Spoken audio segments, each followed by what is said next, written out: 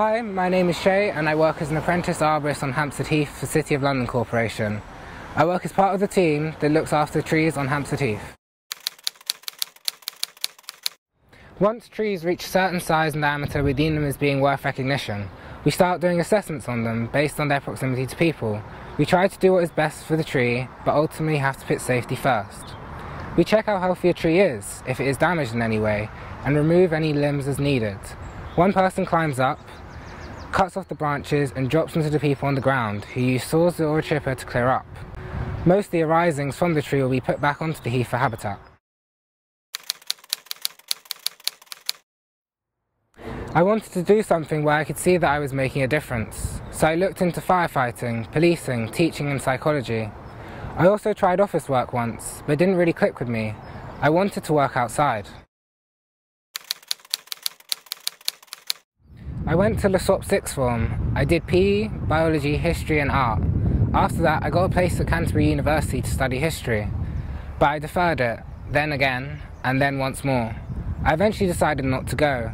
I found other jobs and didn't want to be in debt. At 16 I did a work placement at a solicitor's in Dublin. I didn't enjoy being cooped up inside. Then I went to South Africa with a friend and worked as teaching assistants. We later worked on a game reserve. That sparked my desire to be outdoors. Next, I got an apprenticeship at Kenwood to become a historic property steward. Then I worked as a lifeguard. I'd thought about doing arborist work before that, but I wanted to be somewhere they would treat me with respect. I like climbing in the trees, however I also like learning about the trees and the fungus species, as well as other wildlife and the role they play with each other. Now having this knowledge, I see the trees in a completely different way. I see the world through the eyes of an arborist. What motivates me is how much I still have to learn.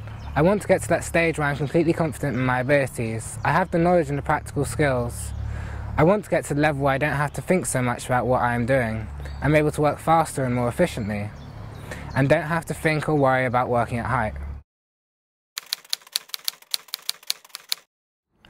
On this job I've developed a lot of skills, including climbing, uh, using a chainsaw and felling trees. I've also learned how to work within a small group of people and developed self-awareness because of that. Out of work I moved out of home, owned a vehicle and learned how to deal with my own finances.